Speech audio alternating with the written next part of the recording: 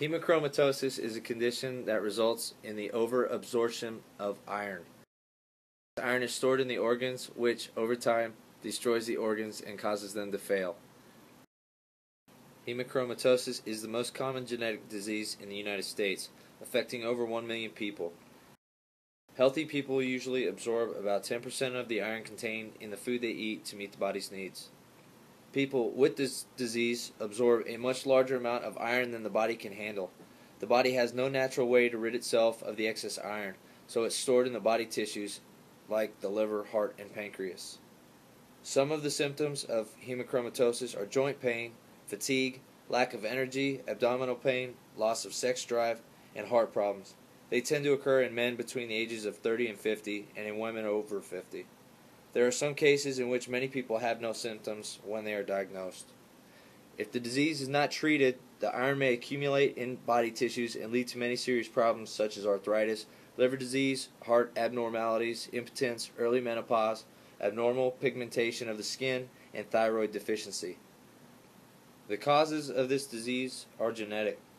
Hereditary hemochromatosis is associated with a defect in a gene called HFE which helps regulate the amount of iron absorbed from food. Mutations in the HFE gene are named C282Y. This is the most important, and H63D. When C282Y is inherited from both parents, iron is overabsorbed from the diet and hemochromatosis can result. H63D usually causes little increase in iron absorption. A person who inherits both mutations rarely develop hemochromatosis. The genetic defect is present at birth, but symptoms rarely appear before adulthood. There are other forms of hemochromatosis, such as juvenile and neonatal. Juvenile hemochromatosis causes the same problems in the young that hereditary hemochromatosis causes in adults. But iron overload begins much earlier and symptoms usually appear by age 30. It is an inherited disease, although the genetic abnormalities that cause it don't involve the HFE gene. It's caused by a mutation in a gene called hemojuvelin. Neonatal hemochromatosis is very severe, in which iron builds up in a baby's liver so rapidly that he or she may be stillborn or die within a few days of birth. The causes are still unknown. Blood tests can determine whether the amount of iron stored in the body is too high. The transferrin saturation test determines how much iron is bound to the protein that carries iron in the blood. The total iron binding capacity test measures how well your blood can transport iron. There are tests that show the level of iron in the liver. If either of these tests show higher than normal levels of iron in the body, doctors can order a special blood test to test the defects of the HFE mutation, which will help confirm the diagnosis. Hemochromatosis is often underdiagnosed and untreated. Treatment for this disease is simple, inexpensive, and safe.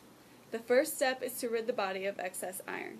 This process is called phlebotomy, which means removing blood the same way it is drawn from donors at blood banks. Depending on how severe the iron overload is, a pint of blood will be taken once or twice a week for several months to a year, and sometimes longer. Once iron levels return to normal, maintenance therapy, which involves giving a pint of blood every two to four months for life, begins. Some people may need it more often. The earlier hemochromatosis is diagnosed and treated, the better. There is current research for this disease in which scientists are working to understand more about how, the HFE gene normally regulates iron levels. They are also studying how iron injures the body cells. Research is also underway to explain why the amounts of iron people normally store in their body differs.